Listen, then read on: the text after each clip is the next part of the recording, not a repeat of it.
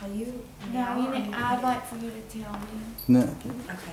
you, what you just got, Leroy? Hi, y'all come on in. Where do we park? Um, yeah. if you don't, Could I ask who is, who, there's a Liz? hold, hold on just a second. um. Because Tracy just park right got- At the bottom of the hill? Tracy got some information, and I want Tracy to get some confirmation. Okay? okay? All right. The woman upstairs, you're right, about the woman upstairs. Okay. But her name was Jolene. Who? Jolene, okay. Jolene died upstairs in my bedroom. This was her home. And what you're getting, you're getting overlap, I think, of different women in this house. Y- Yeah, Jolene. but, but she's a strong presence in this room. She's very strong. Yeah, Um, this was the home, she loved this home. It really belonged to her, it never belonged to Park. It was the street, it's, it was Jolene street, but she was in Woods, and this was the Woods home before. uh, Um, Jolene died upstairs in the bedroom, and her death certificate is signed by Porter Loring. Her death certificate says she's, she died from breast cancer. so it was of the chest area. But she was it- pregnant, okay. and there was an argument on the stairs. In the argument, she fell down the stairs, or was pushed down the stairs. Something happened that she ended up at the bottom of the stairs. And then she died in the upstairs bedroom after the doctor came and gave her too much medicine. Who then signed the death certificate saying that she died from breast cancer. Also, the same person who signed every So single death that's why I'm feeling so confused with the chest area. Right.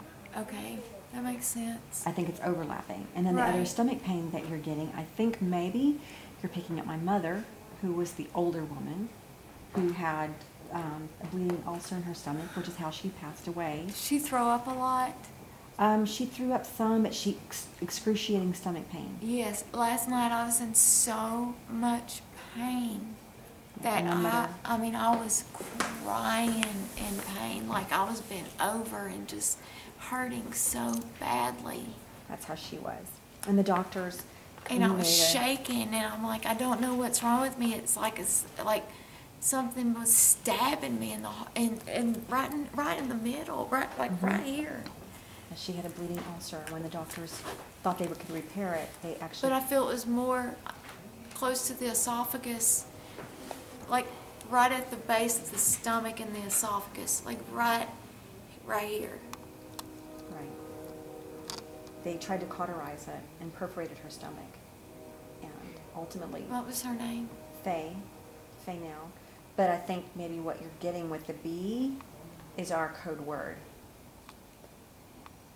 If it's two syllables, and the word is Bossier. Bossier.